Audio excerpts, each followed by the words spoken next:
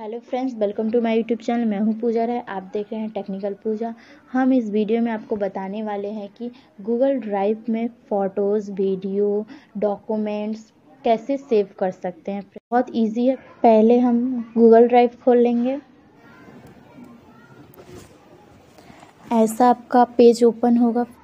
उसके बाद प्लस का आइकन दिख रहा है, उस पर क्लिक करेंगे। उसके बाद फोल्डर फोल्डर पर क्लिक करेंगे।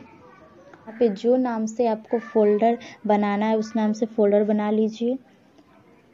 हमें स्टेटस पिक स्टेटस पिक नाम लिख दिया, उसके बाद क्रिएट पे क्लिक करेंगे। उसके बाद जो फोल्डर बनाया था, उस पर क्लिक करेंगे। उसके बाद प्लस के आइकन पे क्लिक करेंगे। फिर फिर अपलोड पे क्लिक करेंगे। फिर यहाँ पे थ्री डॉट दिख रहा होगा, उस पर क्लिक करेंगे, फिर इमेज पे क्लिक करेंगे। उसके बाद यहाँ पे जो भी आपका गैलरी में फोल्डर है वो सब यहाँ पे आ जाएँगे। उसके बाद यहाँ पे जो जो आपको फ़ोटो रखना है, वो चुन लेंगे। और आपका अपलोडिंग स्टार्ट अपलोडिंग हो गया है आपका फोल्डर में। आपका फ़ोटो आ गया है। ऐसे आप, आपके फ़ोटो डिलीट भी हो जाते हैं गलती से।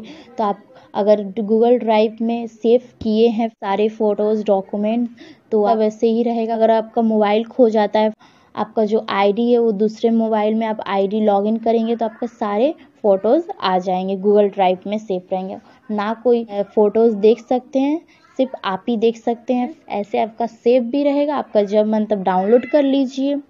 ऐसे आपका गूगल ड्राइव में सारे फ़ोटोज़ सेव रहते हैं। आई होप हमारा वीडियो आपको पसंद आया होगा। फ्रेंड पसंद आया होगा तो प्लीज़ चैनल को सब्सक्राइब करना ना भूलिएगा। Thanks friends